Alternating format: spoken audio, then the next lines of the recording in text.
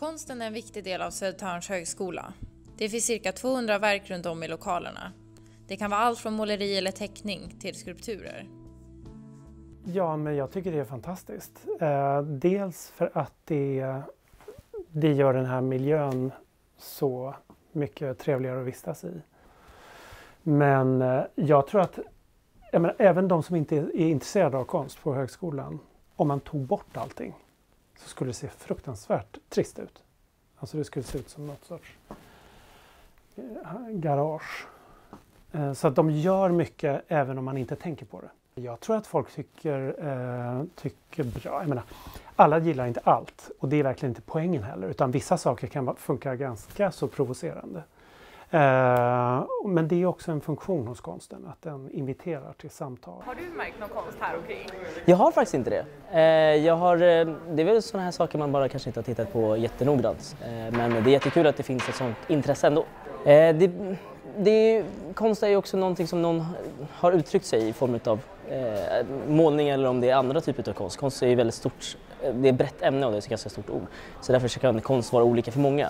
Eh, så det är jättekul att den som uttrycker sig i det här formet har gjort det på det här fina sättet, till exempel. Jag tror att det visar också att det finns en viss kreativitet här på skolan. Att det kanske inte bara är eh, att göra si eller göra så, utan mer att eh, kunna visa att det finns mycket mer än bara det vanliga kanske. Att det är någonting på någonting tråkigt eller liknande. Så det är kul när man får uttrycka sig med sin egen kreativitet. Alltså, det är ganska simplistiskt och basic tycker jag faktiskt. Det är inte så märkvärdigt. Jag tycker ändå att det gör lite av, ger lite av en skolkänsla ändå, måste jag säga. Att det här är Södertörns högskola och att eh, det ändå är en eh, modern skola som ser verkligheten med an annorlunda ögon, liksom, som sloganen ger. Ja, den som jag har lagt märke till, den är fin, men jag har kanske inte, jag har inte tänkt på den så mycket. Jag tror väl att den kan tillföra någonting. Jag antar att det är därför den finns där. Ehm, och den är nog, eh, ja, man blir nog lite glad när man ser den, det tror jag. Det är alltså, det kanske är lite för lite, men man, jag, man har, jag har inte lagt så mycket märke till det om jag ska vara ärlig. Man ser inte dem så starkt. Jag har gått i gymnasiet för, och då hade vi jättemycket konster som betydde något. Till exempel någon gång i tiden hände det här i det här området så hade de eh, lagt någon typ av staty. Typ, så. så det skulle betyda mycket om typ, lite mer konst.